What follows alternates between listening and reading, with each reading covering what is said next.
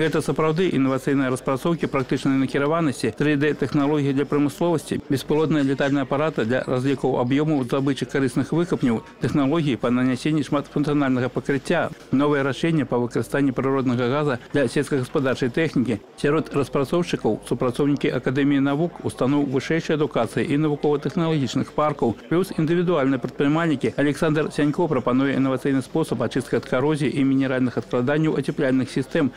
Выкарыстанне мікраарганізмаў дазваляе вырашаць гэтую задачу эффектыўна, прычым усе затраты окупаюцца ўсяго праз паўгода. Применение на практике более чем на 30 предприятиях Республики Беларусь и около 200-300 частных домовладений показало то, что постоянно действующий эффект э, с экономией энергоресурсов на э, выработку тепла э, от 10% и более.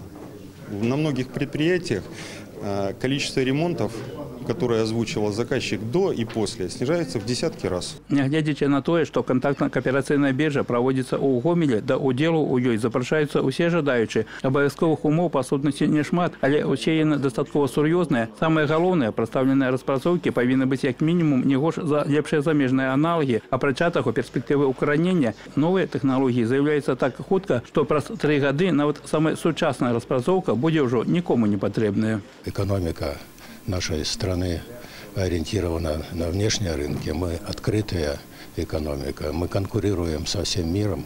И, в принципе, для того, чтобы ус- устойчиво быть на этом рынке, надо что-то новое постоянно.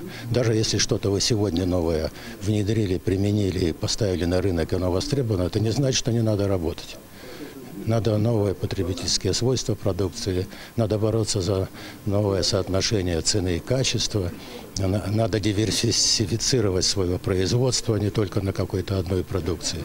Только такие, так, при таком подходе можно удержаться на рынке. А для этого надо дружить с наукой. Аб узроўні гомельскай кантактна-кааперацыйнай біржы можна меркаваць па спісе яе арганізатараў, дзяржкамітэт па навуцы і тэхналогіях, рэспубліканскі цэнтр навукова-тэхнічнай і дзелавой інфармацыі і гомельскі абалваканкам. Сёлета біржа праводзіцца ў чацвёрты раз, а таму улічылі ўвесь папярэдні вопыт ад стварэння ўмоў для правядзення дзелавых перамоў да магчымасці неафіцыйнага абмеркавання перспектыў супрацоўніцтва. За тры папярэднія гады цэлы шэраг распрацовак, якія былі прадстаўлены на гомельскай кантактна-кааперацыйнай біржы, пачалі выкарыстоўвацца ў вытворчасці, прычым не толькі на беларускіх прадпрыемствах.